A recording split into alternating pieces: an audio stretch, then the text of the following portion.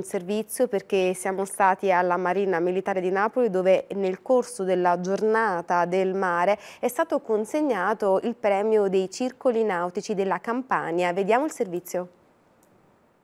È stata una vera e propria festa dedicata al mare con circa mille studenti, il premio promosso dall'Associazione Circolo Nautico della Campania alla Marina Militare.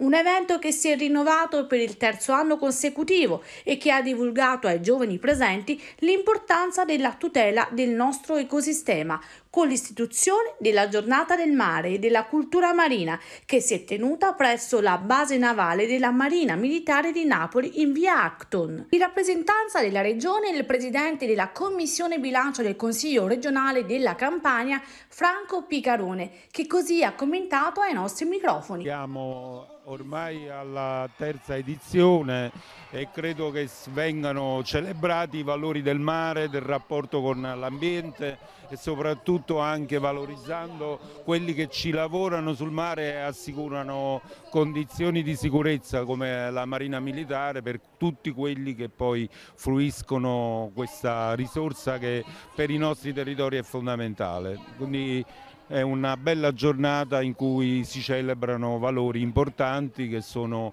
il segno della cultura campana e napoletana. Importante riconoscimento consegnato al comandante logistico, l'ammiraglio Salvatore Vitiello, presente alla giornata insieme a Gianluigi Ascione, presidente dell'Associazione Circolo Nautici della Campania, che così sono intervenuti alle nostre telecamere. Il mare è una risorsa preziosissima, il mare, la Marina Militare eh, ha, un, ha, proprio un programma eh, che in tutto il mondo. Napoli è un golfo fantastico e ha un primato perché in un miglio nautico che va dal porto a Posillipo ci sono ben cinque club nautici.